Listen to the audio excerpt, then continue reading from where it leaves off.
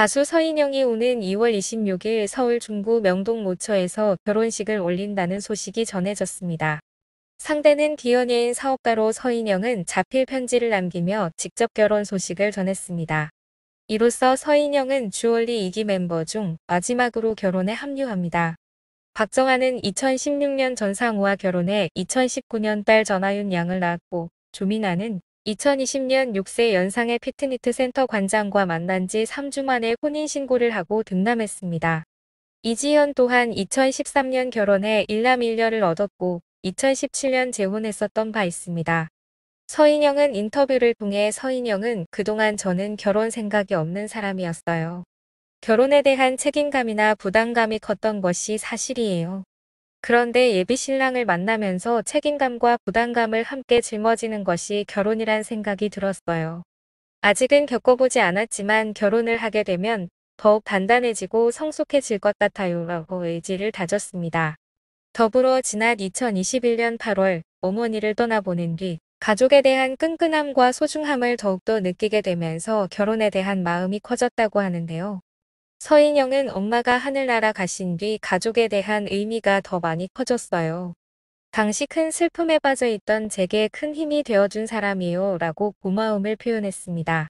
서인영은 예식 자체에 큰 의미를 부여하기보다 두 사람이 새로운 인생을 새 출발한다는 의미가 크다고 했는데요. 결혼식을 얼마나 화려하고 호화스럽게 치르는가가 중요하지 않다고 생각해요. 그보다는 결혼 후 얼마나 잘 사는가가 더 중요하기 때문에 잘 사는 모습을 보여드릴 것입니다. 라고 약속했습니다. 기가 센 이미지로 늘 강인해 보였지만 서인영에게도 말 못할 속사정과 시련이 있었는데요. 서인영에게는 어떤 사연이 있었을까요? 서인영의 아버지는 보수적이었지만 어머니는 서인영과 많이 닮았다고 합니다. 어렸을 때 엄마가 계절이 바꾸었는데도 샌들을 새 것으로 사주지 않아서 샌들 뒤를 가위로 잘랐어요. 그랬다가 엄마에게 엄청 맞았다. 결국 그날 슬리퍼를 신고 학교로 등교해야 했어요. 내가 기가 센 편인데 엄마는 더 대단해요. 아마 엄마가 강하게 키워주셔서 연예계에서 이만큼 버틸 수 있게 된 것 같아요. 그런데 아버지가 무척 엄하고 보수적이세요. 그런 아버지 옆에서 엄마도 나처럼 쇼핑을 즐기셨어요. 하지만 이러한 어머니의 성격은 이후 서인영에게 큰 영향을 미치게 됩니다. 이후 서인영은 배우로 본격적인 활동을 할 예정이었지만 2002년 고등학생이던 당시 친구들과 쇼핑 중 우연히 스타 제국 사장에게 눈에 띄어 같은 해 주얼리로 데뷔하게 됩니다. 고등학생이었을 때 친구들과 쇼핑 중에 우연히 스타 제국 관계자의 눈에 띄었어요. 결국 주얼리로 데뷔하게 되었어요. EBS 청소년 드라마로 연예계에 데뷔를 하게 되었어요. 그런데 기획사에서 프로필이 담긴 테이프가 바뀌면서 내가 배우에서 가수 쪽 명단으로 들어가게 되었어요. 그 실수로 가수로 직업이 바뀌었고 결국 주얼리로 활동하게 되었죠. 주얼리로 활발한 활동을 한 이후 솔로 가수로 전향하여 파격적인 컨셉의 패션과 메이크업으로 신선한 충격을 주기도 했습니다. 이후 서인영은 다시 주얼리로 돌아와 그룹 활동을 시작했고 일명 이티춤과 버섯머리를 유행시키기도 했고 또한 MBC 예능 우리 결혼했어에서 크라운 제이와 호흡을 맞추며 신상녀, 서인봉, 서인춘 등 많은 별명이 붙으며 유명세를 얻게 됩니다.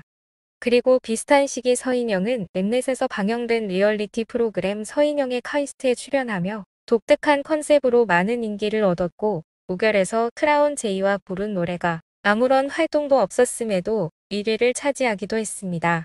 한편 서인영은 신상 등의 이미지로 남자친구 등골을 빼먹는다는 이미지를 한때 가지고 있기도 했는데요.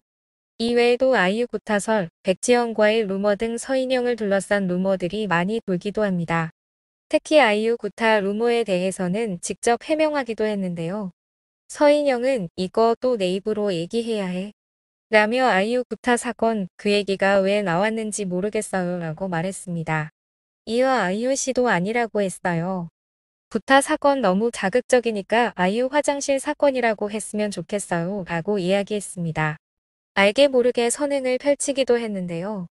서인영은 가수 장윤정, 박현빈 등과 함께 강망빛 조직 기증 운동에 동참해 화제가 되기도 했습니다.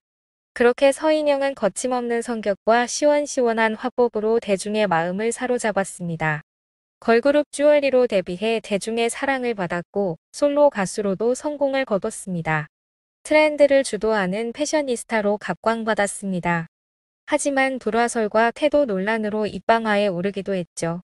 서인영은 대중들이 아는 서인영과 혼자 있을 때의 서인영이 달라서 어떤 게 진짜 나인지 헷갈린다고 털어놓았습니다. 밖에서의 서인영은 대중들이 익히 알고 있듯 여장부였습니다. 전형적으로 밝고 활발한 모습이다.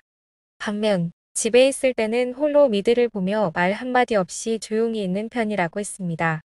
한마디로 우울함에 빠져 지냈습니다.